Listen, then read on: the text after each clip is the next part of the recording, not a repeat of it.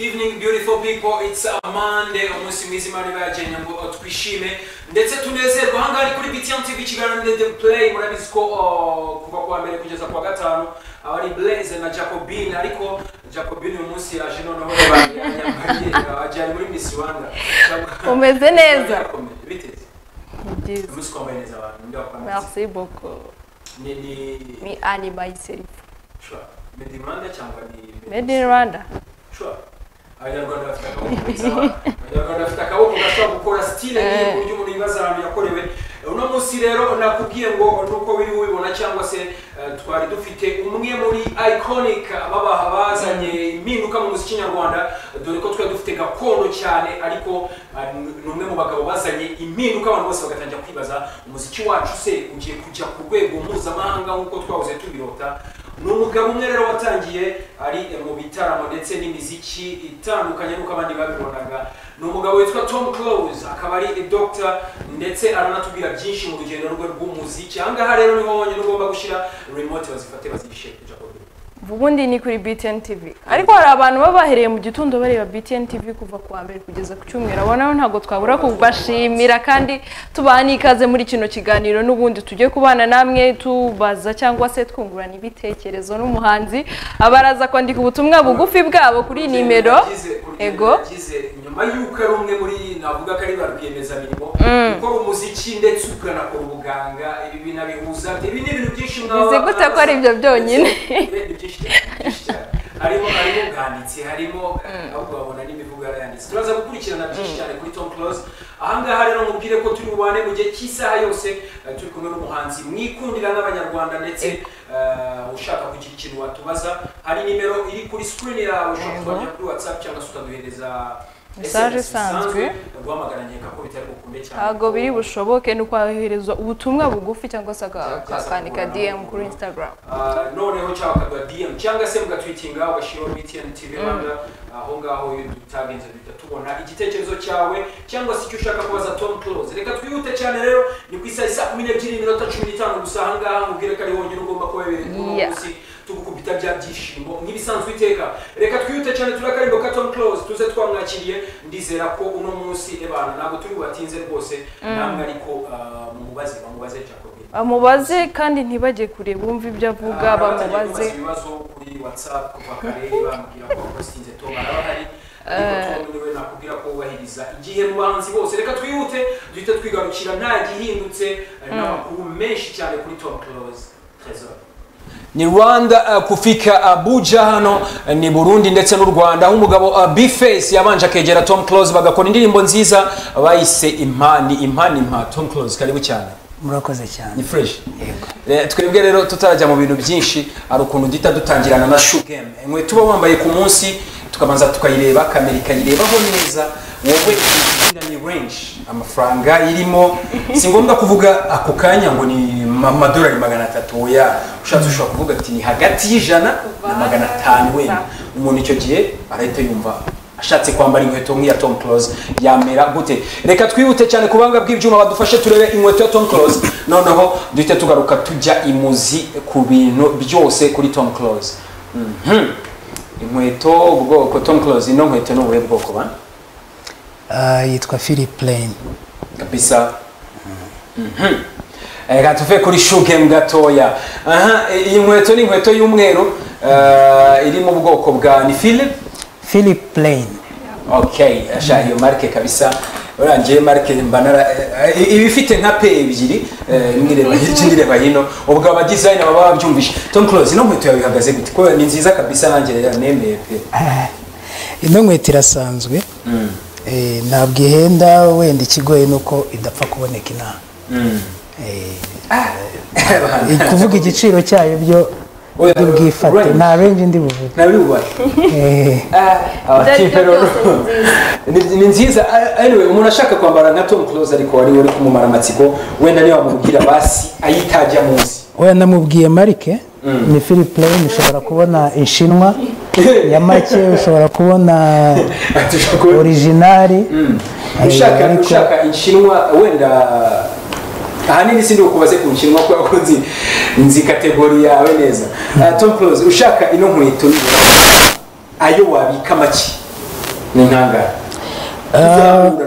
Na- ntabwo ndi buvuge amafaranga ariko ndavuga umuntu wayiguha. Eh, hari umujama witwa fred leon.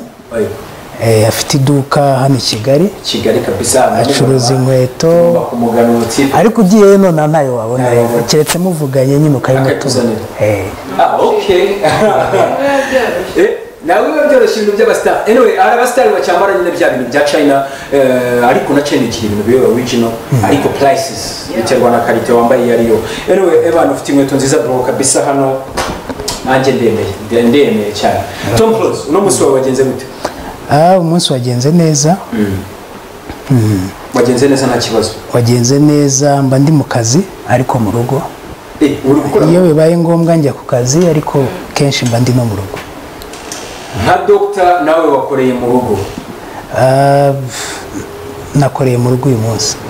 Reka duhita twihuta cyane. Reka tujye mu kiganiro fresh. eh, kubera ko nari nibajije ukuntu twebwe abanyamakuru twagushotoye tukakusana kuri tele kandi ahanini uba wibereye mu rugo nyine wenda utanakoze. Ariko ntacyo reka twihute cyane. Jacobin uh, uyu mugabo si uno munsi uramubona gute? Kintu ushaka kubwira tom kandi nawe uri umufana Ah, Tom Close iki kibazo cya mbere ndi bumubaze ntabwo ndi bumubaze nyine ibibazo bike. Biraterwa n'uko ari bunsubize gusa ikibazo cya mbere ni eh, ntabwo kiri buhere ku- kuri we wenyine. Ndagira ngo nihanganishe b'umuziki nyarwanda muri rusange ah, kubw'umudije ejo twavuze ku masaha ya saa sita aho mpereye abantu bose sinzi ngo turafata umunota wo kumwibuka nyuma aze atubwira ngo DJ Mila yari mu ki kuri Tom Close kabisa fata umunota reka dufate umunota umwe twibuke eh, cyangwa se twifurize iruhuko ridashira. Dj mira mu dj umwe mu gihugu twari dufite ugerageza kuba yaririmba ndetse akanavanga imiziki mu ruhando rw'umuziki nyarwanda. Eh, na producer? Ah, okay. reka dufate umunota umwe mu cyubahiro tumugomba ndetse n'abanyarwanda muri rusange.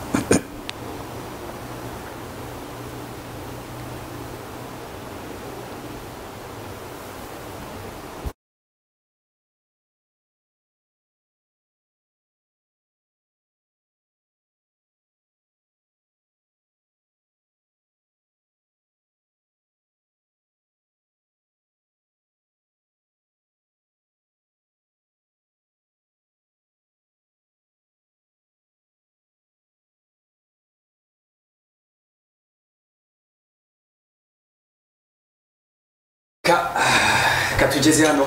Inkuru rero ibabaje ejo yasakaye mu mitima y'abantu ndetse abantu ba- bareactinga bitandukanye. Tom close. Reka tugire dutya tukubaze. Dj mira wamubonaga gute eh, igihe amaze ari muri no industry ndetse n'icyo yaravuze kuri wowe nka tom close? Uh, DJ Mira navuga yuko uh, ni generasiyo y'aba DJ uh, navuga bari bagezweho. Muri iki gihe yari umu DJ ukiri mutoya bigaragara ko akoresha imbaraga nyinshi. Hanyuma nta n'ikirori na kimwe gikomeye uh, cyaba icy'umuziki cyangwa n'ikibindi bintu bya entertainment cyajyaga kiba ngo DJ Mira aburemo so ni ibigaragaza yuko yari umwe mu ba DJ bari ku isonga muri game y'u- y'u- y'u- y'ubu DJ uretse ibyo ngibyo rero yari umuntu uri cool cyane. Ah, ngira ngo mu minsi ishize na mbere y'uko yitaba imana hari utuvidewo twe twagiye dukwirakwira ku mbuga nkoranyambaga arimo aganira ubona asa n'utebya. Yari umuntu uri cool cyane. Noneho by'umwihariko ah, yari umuntu wagiye agira ibikorwa bitandukanye ahuriramo na kina music kandi kina music ah, hari n'indirimbo twakoranye nawe. Unfortunately sinari mpari ah, iyo ndirimbo ikorwa kubera akazi. Ariko yakoranye na bagenzi banjye tubana muri kina music. So ni ikigaragaza yuko uh, yari umuntu urenga imbibi zo kuba DJ akajya noneho no mu gukora ibyo aba bakenera mu kazi kabo ari byo gukora music. So yari umu yari umu DJ mwiza ukora akazi ke neza kandi umuntu ubona ufite ibitekerezo birenga imbibi birenga comfort zone ye akaba ari umuntu navuga igihugu cyacu. Showbiz industry umuziki mu- mu- ah, by'umwihariko ubuze ugiye akiri mutoya ah, icyuho cye sinzi ko kizapfa gusibika ariko nta kundi nyine iyo nyir'umuringa yaje nyine utega ukuboko. Iyo imana yahamagaye nta kundi. Reka tumwifurize iruhuko ridashira ndetse imana ihanganisha umuryango wapfa akiri mutoya.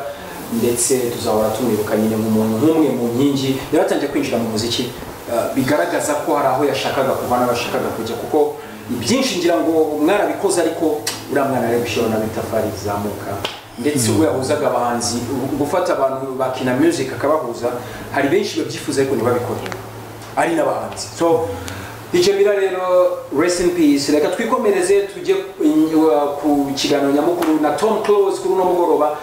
Kuri BTM TV Tom Close. Mm, njyewe wenda ndabizi byinshi kuri wowe ariko nk'abakunzi ba BTM TV badukurikiye aka kanya. Uh, Tom Close ni muntu uciye amazina yose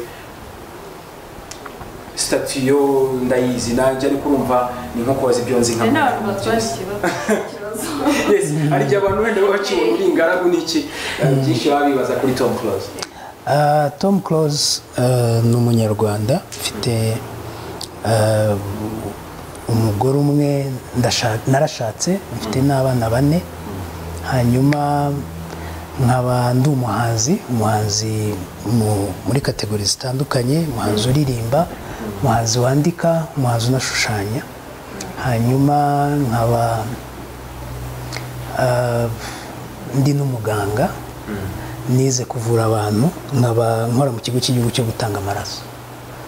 Mu ncamake rero y'uwo ndiwe niyo. Ndi umuntu usanzwe ukora ibyo ngibyo na- nababwiye.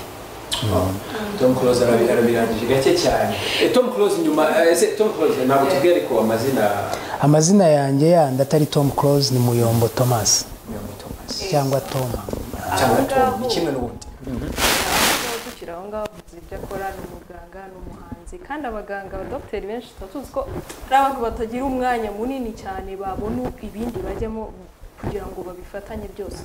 Ese kuba uri umuhanzi ukaba n'umuganga byaje bite? Byose wabitangiriye rimwe cyangwa watangiye kimwe ikindi kiza nyuma. Nubwo byose bitasira rimwe ibitekerezo niyo mvuga ibitekerezo cyane byaje na idea yo kwiga.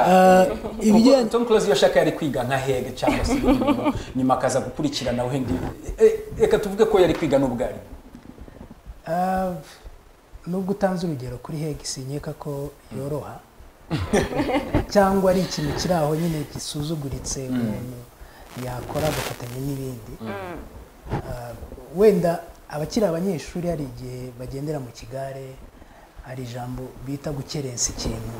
Yeah. gukerensa ba- bakaba babica amazi. Bica amazi. Ariko nkanjye nonaho uno munsi iyo ndebye abantu bize amateka tuvuge nk'urugero iyo ari nko kuri radiyo cyangwa televiziyo arimo kuvuga amateka umubonamo ko ari umunyabwenge. Kandi ikindi ni uko buriya umuntu utazi yava nta nubwo amenya aho agiye. So dusubiye rero ku kibazo wambajije tuba bitangiye ryari? Eh, nabitangiye nkiri umunyeshuri. Eh, ariko noneho icyabanjirije ikindi buriya nkeka ni ukwiga narize ntangira guhanga. Kuva muri pirimeri narashushanyaga nibuka niga muri pirimeri umwarimu wajyaga atwigisha dese yigeze kumpereza gushushanya inzu prefe des etudes yabagamo kuko yabaga ku, kigo twigagaho ndashushanya arangije ahita nk'ikizamini mu bana. Icyo gihe nigaga mu wa kane ayitanga nk'ikizamini mu bana bo mu wa gatatu. Urumva rero nabitangiye kera hanyuma mm, nakundaga ku- kugerageza kubyimpuruvinga kurushaho kubikora neza kwa. Eh, ntabwo ariko natekerezaga ko nzabikora nk'umwuga hanyuma rero ku byo kuririmba byo nabitangiye muri korali nkajya muri korali nk'abandi ariko noneho igihe kigeze nza gusanga nkwiriye kujya muri studio. Eh, nuko rero nagiye muri studio ntangira kwikorana. Hanyuma ntangiye kwikorana bihurirana nuko ntangiye kwiga kaminuza niga ubuganga ndimo ku- kuririmba menyekana ndi muri kaminuza hanyuma mba umuganga nzwi ndi umuhanzi uzwi usanzwe abikora. So navuga yuko of course iyo umuntu akunda ikintu baravuga ngo ushaka inka aryama nkayo. ntabwo ubuganga ari ikintu cyoroshye umuntu abona umwanya kugira ngo uh, ajye no mu bindi. Ariko buri ikintu cyose umuntu akunda ntabwo yakiburira umwanya ugenda ufata umwanya w'ibindi umwanya wo kuryama umwanya wo kuruhuka ukagenda ukataho ukawushyira ku kintu ukunda. Ni uko nguko rero mbasha kubikora byombi mbasha kuba umuganga mu kigo cy'igihugu cyo gutanga amaraso ariko nkabasha noneho no kuba umuhanzi. Umwanya mbonye nyine eh, tuvuge nk'urugero eh, muri wikendi nyuma y'amasaha y'akazi studio zihora zifungwa ntabwo zo zijya zifungwa ubu byarakemutse nta konji zigira. Usibye ko ubu ngubu nyine covid yazifunze ariko ubusanzwe nta konji zibaho kuri studio. Ntabwo ari nka kumwe zabaga i nyamirambo gusa. Oya ziri ahantu hose ariko ni nyamirambo ni ahantu umuntu nyamirambo niyo za ashobora hari umuzi twakiriye aratubwira ngo nyamirambo ni ho hantu hambere yari azi studio gusa ngo igihe yatangiriye. Eh, tom close reka twihute cyane. Ni utubwiye ibya korali bituma ngira idea. Iyo korali yari izwi yari mu makorali azwi hari hari korali numvishe zajyaga zikora bato mu cyashize. Kera ariko mbere yuko ngira ngo hari wenda we wari uri mu muziki icyo gihe hari hari abahanzi ba debeni bari batarinjiramo bakiririmba mu gashyekero kuri adeperi bakaririmba ibintu bigakomera.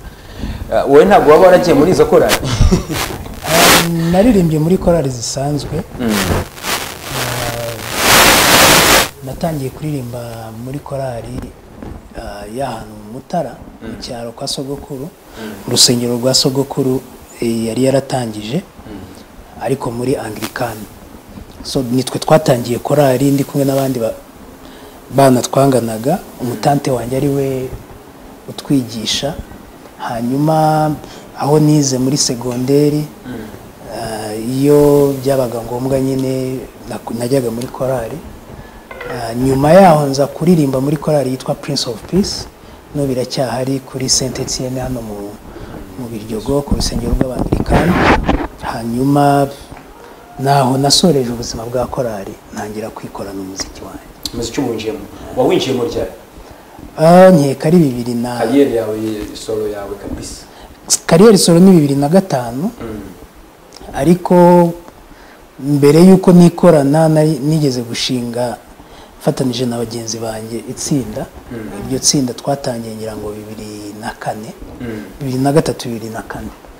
Eh, ah Ah, tom ni iyihe studio wakoreyemo indirimbo yawe ya mbere? Kubera ko ahanini kiriya gihe byari bigoye. Studio ya mbere nakoreyemo yitwa sh records. Ibi butare? Oya? Yabaga i butare yabaga? I butare rega studio zagiyeyo nyuma. Eh, producer producer. Hari ni umuhanzi Mm. witwa mugisha uririmba gospel. Eh, yari afatanije na happy. Happy yari muri studio. Hanyuma hari n'undi mu producer witwa shema. Bari aba producer ngira ngo batatu. Nibo ba- bakoze ku ndirimbo yanjye ya mbere. Dutandukanyirize. Hari ukuntu ubona umuziki w'ubu urimo urakorwa. N'umuziki wawe wenda two guhera bibiri gatanu reka duhere bibiri gatandatu. Ubwo ah, n'inshuti z'ikirere zazaga n'ibiki byose n'abandi bahanzi uzire wanafashije kuzamuka dufatira icyo gihe tugereranyirize n'umuziki w'ubu ngubu. Impinduka zirimo ni byinshi cyane watubwiraho. Ibyabuze ibyari byiza. Byagiye byiyongera byinshi cyane. Ah, uko umuziki wakorwaga ntabwo bijya bihinduka. Forumire zihora ari zimwe. Ah, hari abo bishobora guhira bikihuta hari n'abandi bishobora kugenda gahoro Ah, bitanavuze ko nta mpano bafite. So dutangira of course aho bitandukaniye n'ubu ni uko nta studio nyinshi zari zihari. Ah, jyewe ku bwanjye nari nzi amastudio make cyane.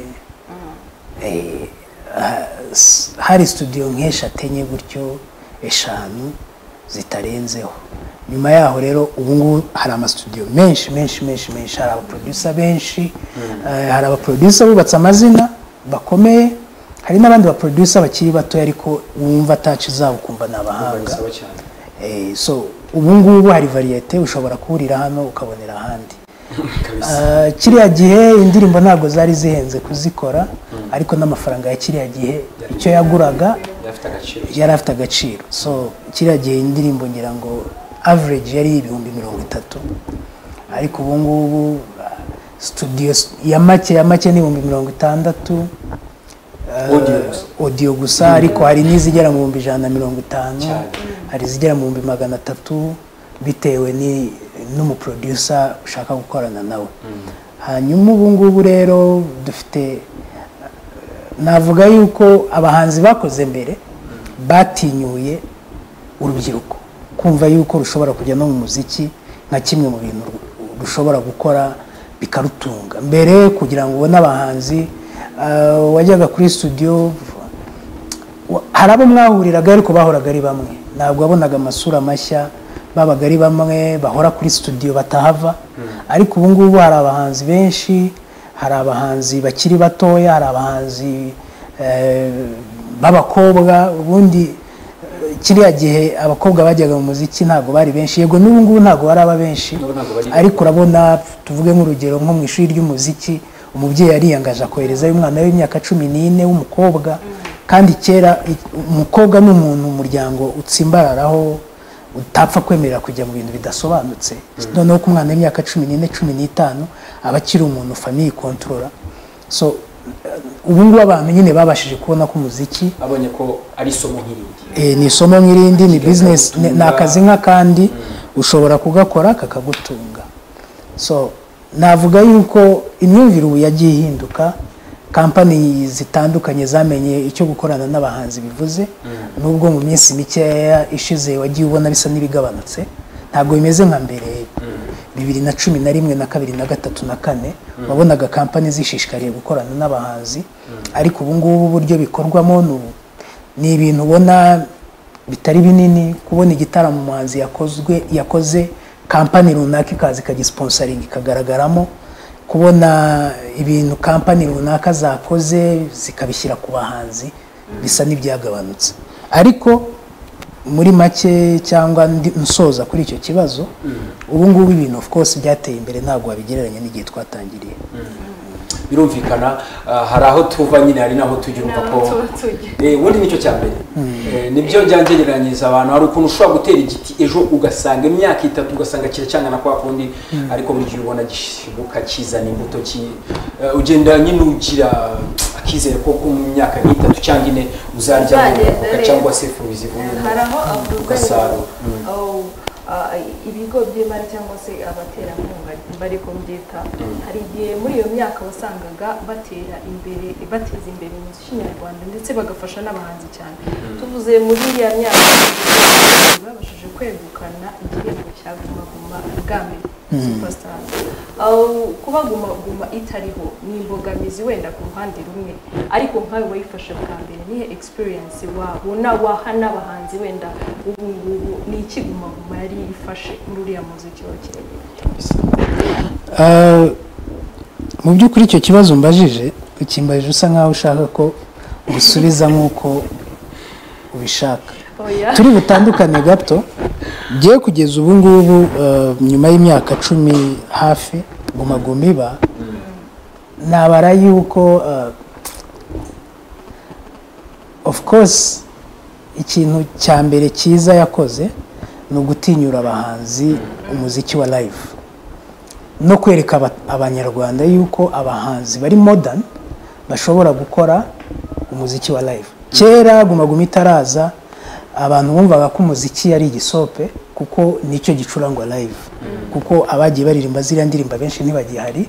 Kugira ngo rero ziriya ndirimbo zikomeze zigumeho zihabwe ubuzima bazisubiramo kandi bakaziririmba live. So hari ikibazo cyari mu myumvire y'abantu bumva yuko ushobora kuririmba indirimbo nka kuki ngo uyishyire mu manota abacuranzi baze bayicurange isawundinge nk'uko isawundinga kuri cd so icyo guma guma yafashije cya mbere ni icyo. Ah, ikindi yegereje umuziki abaturage urumva hari abaturage ba- batari mu mijyi ah, minini batari kuzabona abahanzi benshi bangana kuri icyarimwe. Ariko nanone navuga yuko hari n'ibindi bitari byiza guma guma ya- ya- yazanye mu muziki. Ah, icya mbere yatumye ah, abahanzi bose basa n'abafatiwe mu gatebo kamwe. Urumva gufata abahanzi icumi ba mbere mu gihugu bose ukabahemba kimwe ukabatwara kimwe bakaryama hamwe. Ni brand zitandukanye. Mm, kabisa.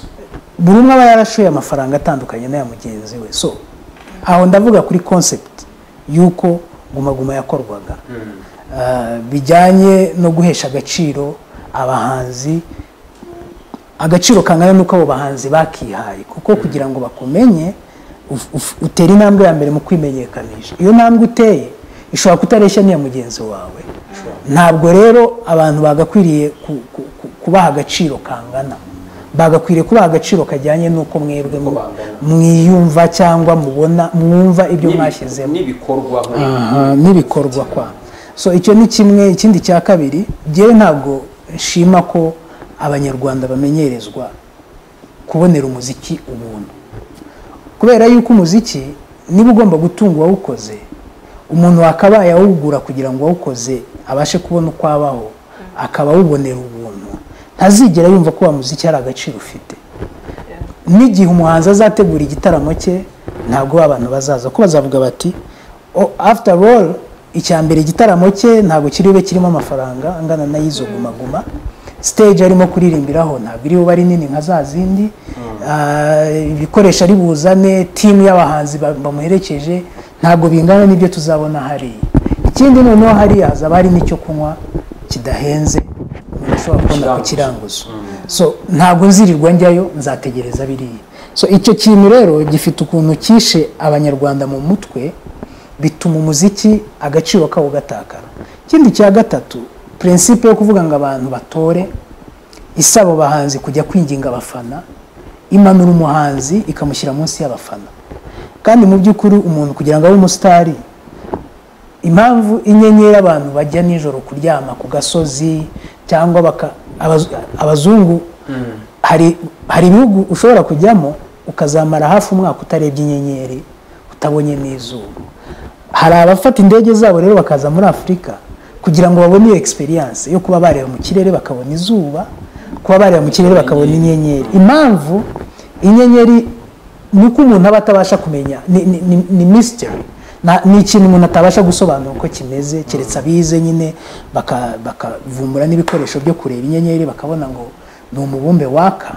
Ariko inyenyeri ubona ari itara riri kure udasobanukiwe ibyaryo inyenyeri rero uramutse uyisemplifiye ukayigira ikintu gisanzwe nta muntu uba ugikeneye kuyireba.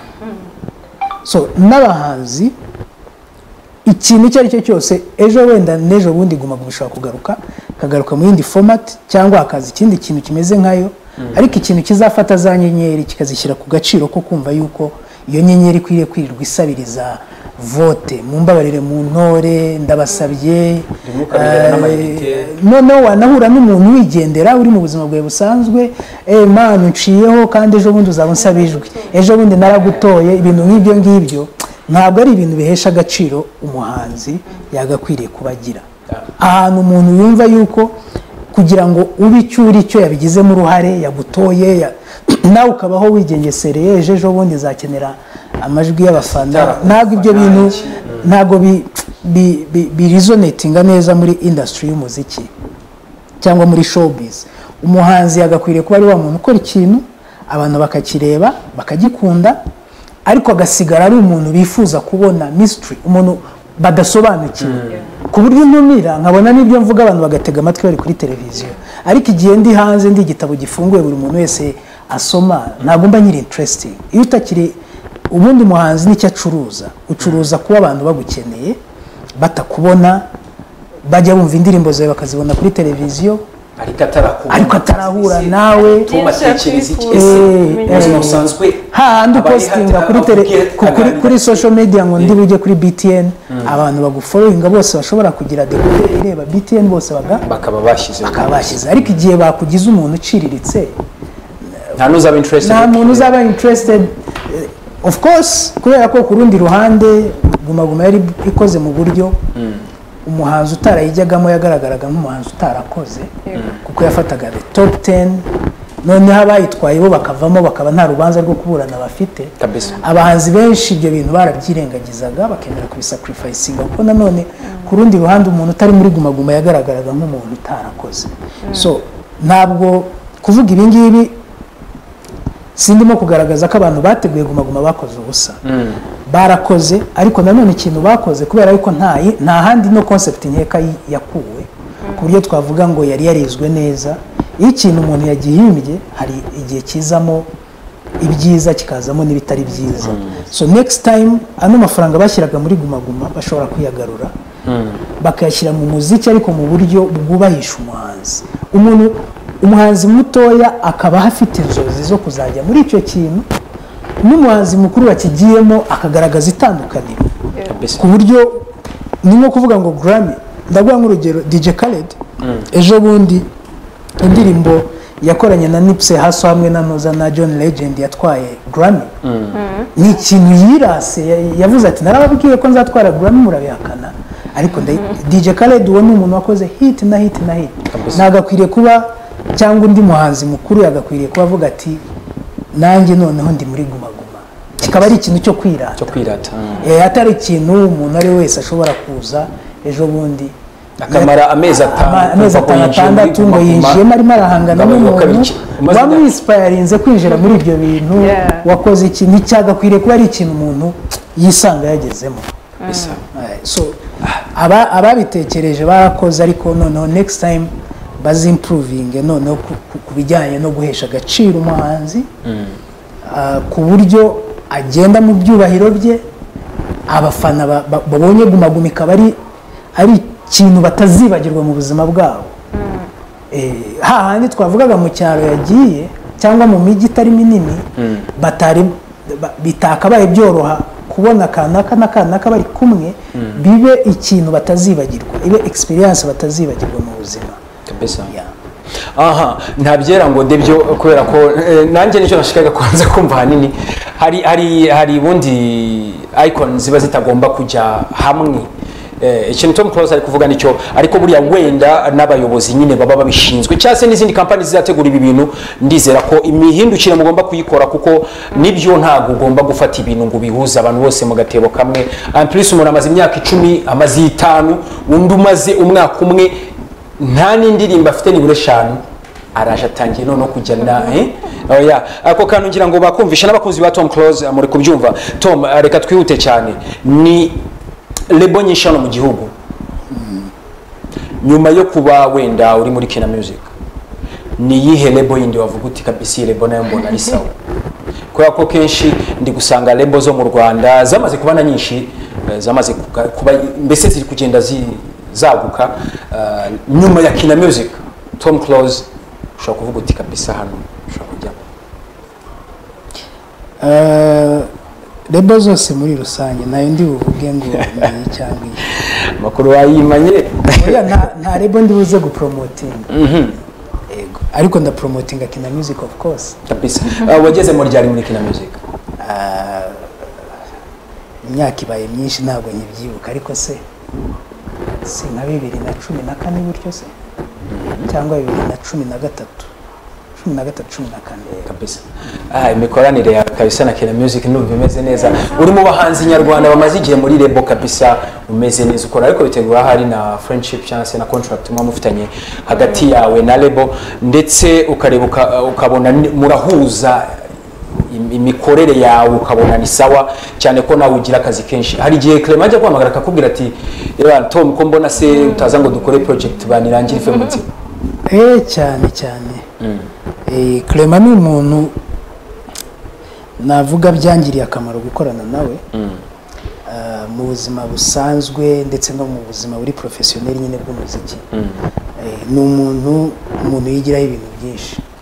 Eh, so eh, hari igihe rero mba ndi nko mu kazi hari igihe nibagirwa ibijyanye n'umuziki wenda bitewe n'uko nakuruwe n'akazi cyangwa n'ibindi by'ubuzima busanzwe akamwitura cyangwa akanyibutsa.